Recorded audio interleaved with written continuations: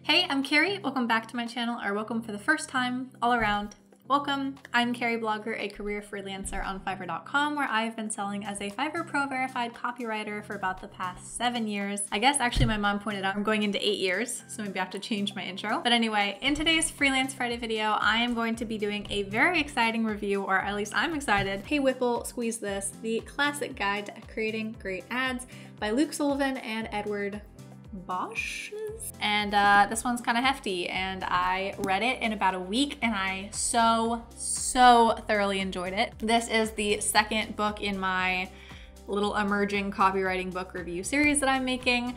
The first one last week took me by surprise. I was not super thrilled about the start that I got. Kind of the goal of this series is to help you, hopefully, if you're looking for copywriting books that you wanna see like what's actually gonna be helpful, what do I think is gonna give me real tools to success, what might be like a little bit misleading in some ways, like last week's book. This one I had much higher hopes for just for the fact that a subscriber recommended this to me, loved it. It was so funny. It was so transparent. It is everything that I hope that this channel is, even in some tiny little way. I'm gonna go a bit into like what the book covered, what my favorite things were, and like how I felt in this kind of like journey that I had going through this book. First of all, this was a hilarious read. I, okay, this, this book review is gonna take like so many tangents in here, so stick with me. I used to love reading as a kid. I was like the kid who had no friends. Like I had like one friend in elementary school. It was always like the other rejects. I would be inside like doing extra credit like homework or like reading during recess because like I was bullied. And so I read a lot and I love to read. Then in middle school, I got busy with other stuff. Reading just didn't happen. I have always loved to read for school. I've always loved to learn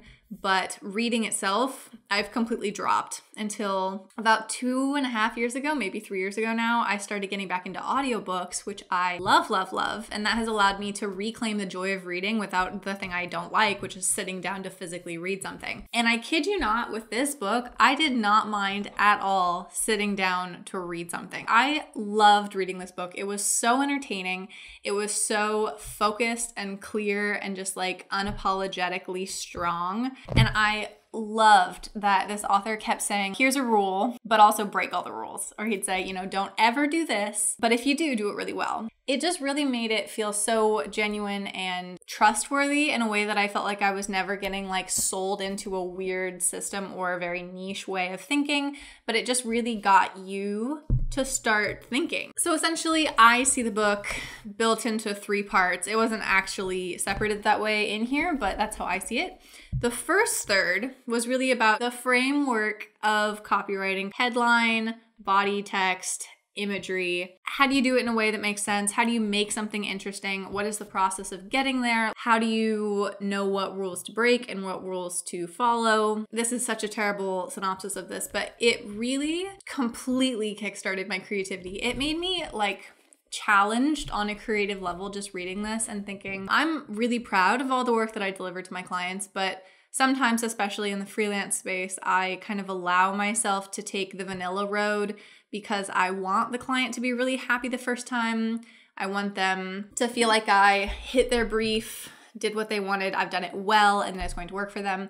But that doesn't always come across as super creatively fulfilling for me or especially challenging for me. Sometimes I feel like I can kind of hit autopilot just a little bit and I can still deliver great work for them without truly stretching myself. And the first third of this book not only made me want to do a better job for myself and to really reclaim kind of what has been the slightly like dying flame of creativity inside of me, especially over the course of this year, which has been hard for everybody for a number of reasons. It just was so creatively inspiring. If you want to read something that makes you excited to go to work, even if this is not the exact work that you're doing, and to be excited about what you're creating, the ideas that you have, the opportunities you can make, and like the possibilities that are out there if you're not just completely diminishing yourself. That's what the first third of this book was. It was so, so good.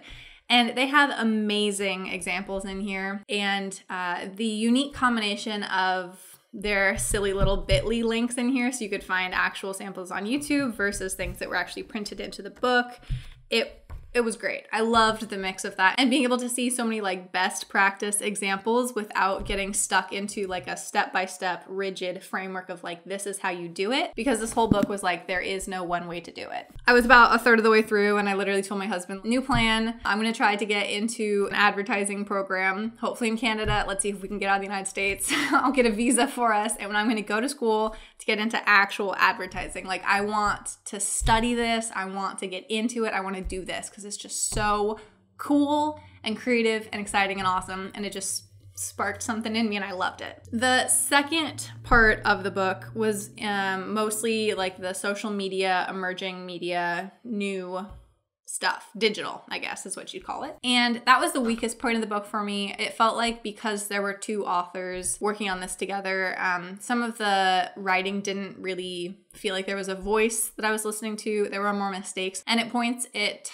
just felt a little bit like getting too stuck in the weeds, too specific for the fact that already this book is a little bit out of date, which they alluded to in here. And then I felt like, mm, but I don't even like social media and, and digital's a little iffy and there's a lot to learn and there's a lot of things I don't know. It felt a little bit overwhelming for me personally in my emotional roller coaster that was reading this book. And then the third chunk of the book was absolutely funny. And that was what it was like really like to be in the ad world, to be in an ad agency. Not only did it talk about how to get into the agency, where you should be studying, what you should do to put your book together, what you should do for the interview, but also like who you will run into, the bad clients that you're gonna have to fight with, the obnoxious people in the ad world that are maybe not helping you be the best you can be. And I really loved at the end, it had a very thorough list of some recommended reading and why you should be interested in reading those books. So, overall, the end of the book brought me back down to reality and said, you know, looking at how the ad world works, how traditional agencies work, I think I'm still very happy in my freelance bubble and not ready to potentially throw myself into that. But it just felt so, so well rounded as a book, and I cannot recommend this highly enough. It was so fascinating. And I feel like I'm just giving a lot of like general descriptions and stuff, but really it's it's kind of a book that you need to read and you'll get your own stuff out of it. I think more than even like traditional rules and ideas and like buyer psychology frameworks and everything that fits in a nice little square, it just challenged me creatively and it really inspired a new idea about the way I see myself working and how I want that to be. When I kind of conceptualized making this video series, I kind of was hoping that all of these books I would be able to recommend or review with some kind of like a professional's opinion on the topic. My specialty or niche that I've kind of gotten myself into, just being self taught and intuitively taking in what I've gotten from the market around me. I specialize in website content, e commerce product descriptions, blogs, and email campaigns with branding kind of as well mixed into that. This book, I did not feel like an expert because this area of copywriting is so completely foreign to what I am personally doing.